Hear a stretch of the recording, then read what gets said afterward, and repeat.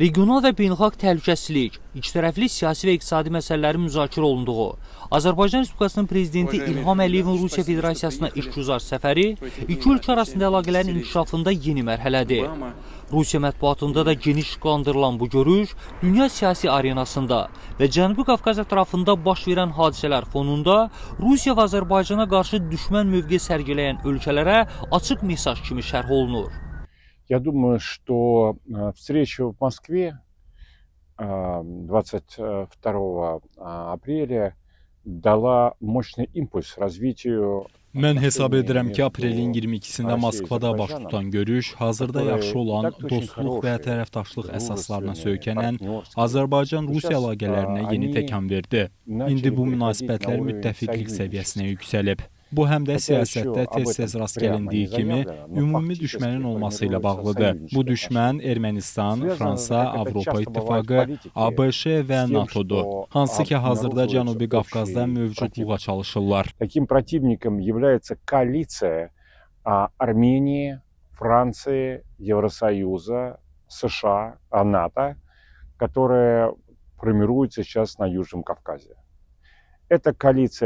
Bu koalisiyanın bir qolu ənənəvi olaraq Ermənistan Azərbaycanın düşməni kimi çıxış edir. Digər qolu Birləşmiş Ştatlar isə Rusiyanın düşməni rolunda çıxış edir. Fransa isə bu koalisiyanın təşkilatçısıdır, hansı ki, həm Azərbaycanın, həm də Rusiyanın düşmənidir. Məhz bu yaranan koalisiya düşmənçiliyi Azərbaycan və Rusiyanı əməkdaşlığa vadar edir. Вот это вот формирующаяся новая враждебная обеим странам коалиции и с неизбежностью подталкивает Россию и Azərbaycan к сотрудничеству. Politoloq Sergey Markovun fikrincə, Rusiya və Azərbaycanın əlaqələrinin sıxlığını və regiondakı maraqları nəzərə alaraq yeni bir əməkdaşlıq formatı yaradıla bilər. Məhz bu formatda Cənubi Qafqazla bağlı hərbi siyasi planlar quran qeyri-regional güclərə qarşı effektiv mübarizə aparmaq olar. Эти отношения тесные России и Азербайджана, которые были великолепно проявлены во время этой встречи, Azərbaycan və Rusiyanın bu görüşdə möhtəşəm şəkildə nümayiş olunan sıx əməkdaşlığı yeni, daha geniş Azərbaycan-Rusiya, Türkiyə və İranın birgə əməkdaşlığını gətirib çıxara bilər. Bu dörd ölkənin ümumi bir marağı var imperialist maraqları olan ölkələri Cənubi Qafqaza buraxmamaq, hansı ki, regionda vəziyyəti gərginləşdirə və qanlı qarşıdurmaya gətirə bilər. Bu ümumi maraq indi reallaşa bilər və dörd ölkənin maraqlarına cavab verir. до кровавых столкновений. Вот этот общий интерес может сейчас реализован, и он без сомнений является вот общим интересом для всех этих четырех держав. Sergey Markov Rusiya sülh məramlarının Qarabağı tərk etməsi məsələsinə toxundu. Politoloq indiki məqamda sülh məramların bölgədəki vəzifələrinin başa çatdığını bildirdi. Я думаю, что вывод российских миротворцев из зоны Карабаха осуществляется в соответствии не столько Сочинскими соглашениями. Mən hesab edirəm ki, Rusiya sülh məramlılarının Qarabağdan çıxması Soçi razılaşması ilə deyil, Azərbaycan və Rusiya liderlərinin razılaşması əsasında baş verir. İş burasındadır ki, sülh məramlıların Qarabağda funksiyası qalmamışdı. Onların iki vəzifəsi var idi.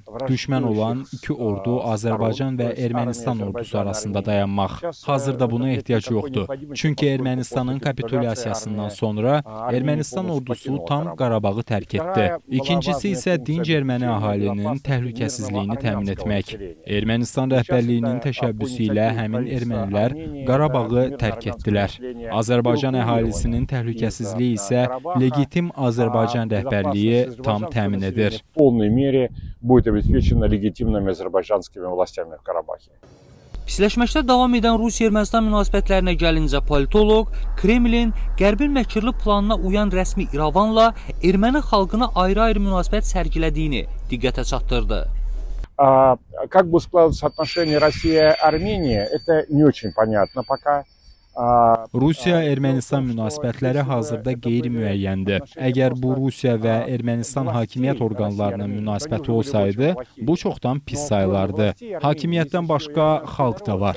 Onlar çox qorxurlar ki, əgər hakimiyyət Rusiyaya xəyanət etsə, Ermənistan xalqı üçün çox pis olacaq.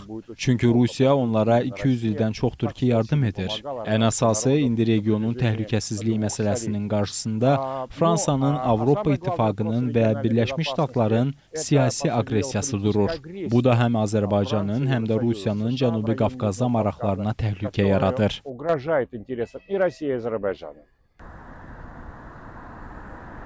Rusiya-Azərbaycan münasibətlərinin inkişafı, əlaqələrin möhkəmlənməsi fonunda Ermənistanın özünə yeni müttəfiq axtarışı, regiona yeni imperialist gücləri gətirməsi və Rusiyanı özündən kənarlaşdırmaq üçün addımları Kremlində diqqət mərkəzindədir.